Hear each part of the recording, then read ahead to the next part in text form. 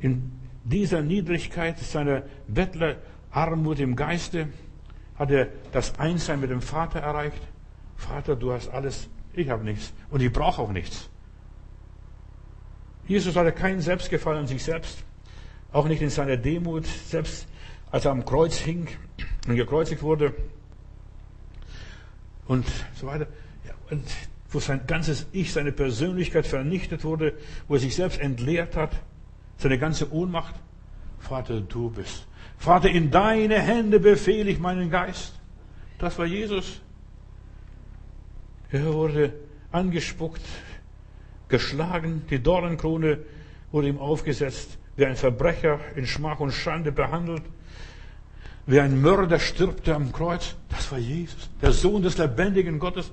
Kannst du dir das vorstellen? Lebe, bleibe in der Gegenwart Gottes, egal was da passiert. Jesus zeigte uns und hat uns demonstriert, was Gott von uns erwartet, was, wie wir in das Reich Gottes kommen, was der Wille Gottes ist. Unser Weg ist der Weg dem Lamme nach, im Tal der Todesschatten, betrogen, so wie dieses Schweinchen vom Bauer, ich liebe dich. Und dann gleich wird er Elektroschock bekommen. Schrecklich. Verstehst du? Das erlebt, erlebt Jesus und wird zum Bierschinken gemacht oder Kochschinken. Nur arme geistliche Bettler bekommen den Himmel die Glückseligkeit. Und Jesus ist der Anführer zu Gottseligkeit. Halleluja. Er ist, der uns voranging, ohne Selbstgefälligkeit. Er zeigt uns Menschen den Weg zum Vater. Er wurde bettelarm, nicht einmal Platz in der Herberge gehabt, ließ sich erniedrigen. Ja, kam runter von seiner ganzen göttlichen Eitelkeit. Ich kann alles. Er hätte aus den Steinen Brot machen können, aber hat es nicht gemacht. Er, er entleerte sich vor Gott und dann kam die ganze Fülle Gottes über sein Leben, als er dann am dritten Tag auferstand und das Leben verwirklichte. Nur so, ihr Lieben, werde ich bleiben im Hause des Herrn immer da.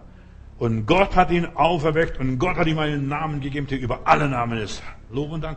Das ist das Ergebnis eines gottgefälligen, gottseligen Lebens.